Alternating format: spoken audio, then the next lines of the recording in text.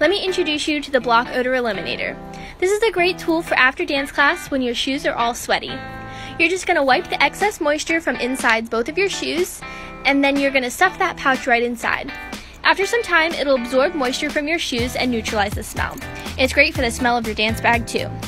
This will keep your shoes lasting longer and prevent moisture buildup. It'll also prevent from possible fungal infections on your feet.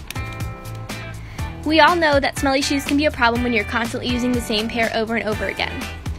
Be sure to pick one up at Dancewear Corner today.